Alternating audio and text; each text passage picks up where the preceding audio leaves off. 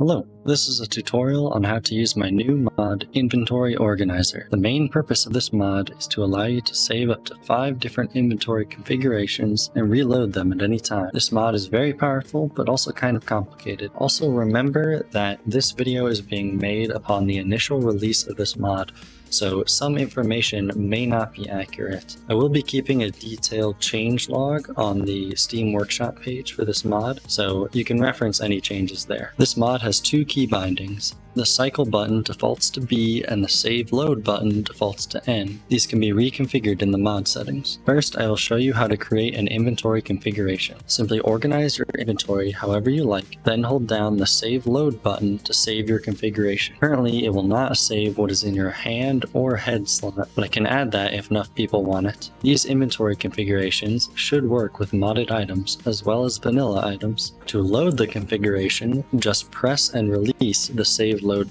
These configurations work with all backpack types, or even no backpack at all. I would not recommend changing your inventory while loading a config, as it can cause the mod to put things in the wrong place. One thing to note about loading is that the mod will never take items from your hand or head, however if enough people think this is worth doing, I will consider it. You can have up to 5 inventory configurations saved at once, although if enough people request it I can easily increase this limit. To switch which config gets saved or loaded, simply press and release release the cycle button. But what if you have an inventory slot where you want the mod to choose from a variety of items when loading the inventory configuration? For example, what if you wanted the first three slots in your inventory to be filled with whatever tools you happen to have in your inventory? Well, for that, you need to use groups. Start by holding down the cycle button to switch into group mode. To set up a group, first you need to pick a group label. A group label is an item that you will use in the inventory configuration to tell the mod that you are referencing a group rather than the item itself. This will make more sense later. For now, just pick an item that you won't be using in your inventory configurations. Next, put the group label into the first slot in your inventory. Next, put all the items that you want to be in the group into your inventory and or backpack. The item used for a group label is not actually in the group itself. Also, when creating a group, you can can use any type of backpack or none at all. Next, hold down the save load button to save your group. You have now created a group, but you still need to use it. First, you need to press and hold the cycle button to go back into inventory mode. Once in inventory mode, organize your inventory how you want. To use a group in your inventory configuration, simply put the group label into whatever slot or slots you want to use the group. Then press and hold the save load button and the inventory config will save. Now when you load the inventory configuration the mod will use the group. Groups are not just a list of items, but an ordered list of items. So when the mod goes to put an item into a slot that used a group, the mod will search your inventory for the first item in the group, then the second item in the group, and so on. First item in the group that the mod finds will be the one that goes into the slot. Here's the priority order for group items when your backpack is in separated mode. Here's the priority order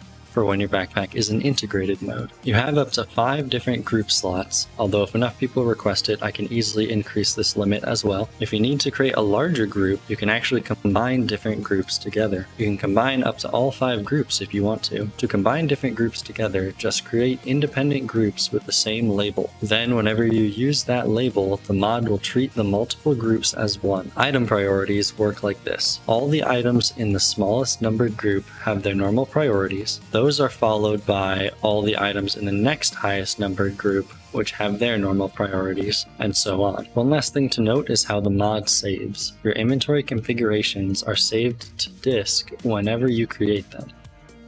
The save data for these inventory configurations also contains any groups they use. This means that your inventory configs will work across servers even if they contain groups. This also means that the group slots themselves are never saved because the inventory configurations handle that. So after you are done using a group in your inventory configurations, feel free to overwrite the group as it will get destroyed anyways. This can be useful if you are done using a group and decide you want to use the same group label for a different configuration or a different group.